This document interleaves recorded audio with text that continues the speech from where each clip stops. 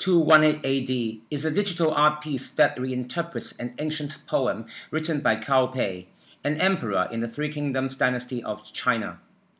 A letter to Wu Zhi is a condolence letter from the king of Wei to his beloved friend Wu Zhi, in which the emperor laments the loss of his literary contemporaries who died in a plague in 218 AD and reminiscence about their good old days. At the end, he sighs at the inevitability of old age. He tries to salvage meaning from and expresses regret about life's denouement. Words in the poem are reconstructed using Chinese cursive writing style calligraphy against a fleeting background of trembling leaves, defining a mood of transience and instability. When I was working on this piece, it so happens that I was hospitalized and I used this work as a dialogue between life and death.